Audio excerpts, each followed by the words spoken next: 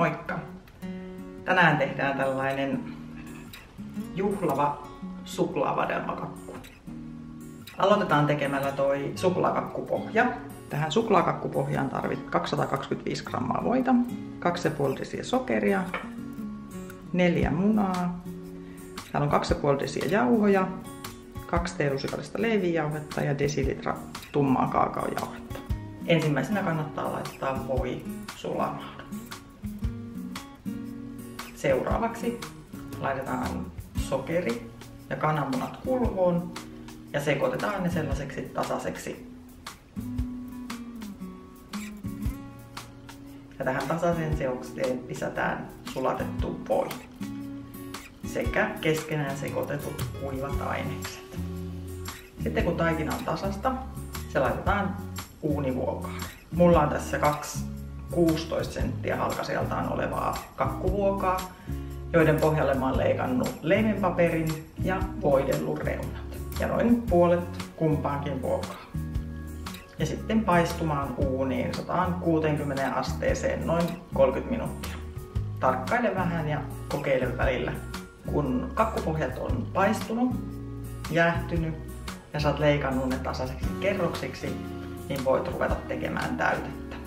Ensimmäisenä kannattaa laittaa kylmään veteen liivatelehdet sekä vadelmat kattilaan kiehahtamaan, koska ne on ulkomaisia pakastevadelmia. Kun vadelmat on kunnolla kiehahtaneet, lisää sekaan puolisia sokeria ja halutessasi voit tehdä niistä tasaisempaa massaa sellaisella sauvasekoittimella. Sen jälkeen vadelmaseokseen lisätään liivatelehdet ja sekoitetaan sinne joukkoon ja se saa jäädä hetkeksi sivuun pikkasen jäähtymään. Patkaa vispikermasta vaahto ja lisää sinne maitorahka.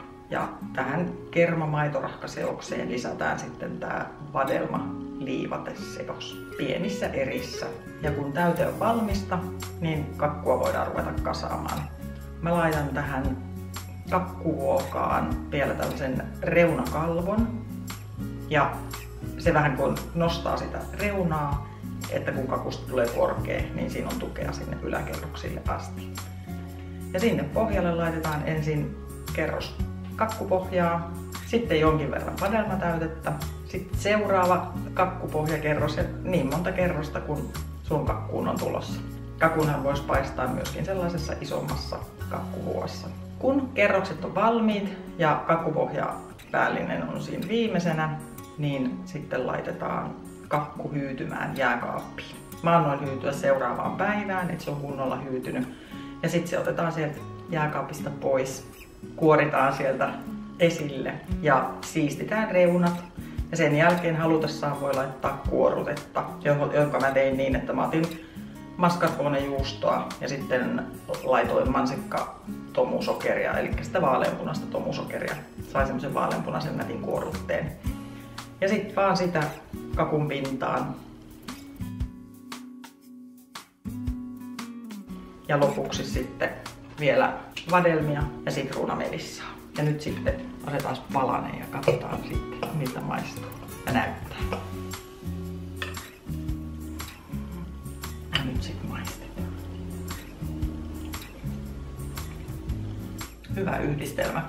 Tämmönen niinku suklainen kakkupohja ja Adelma rahkakerma täytä. Kannattaa kokeilla. Nähdään taas seuraavalla videolla. Moikka!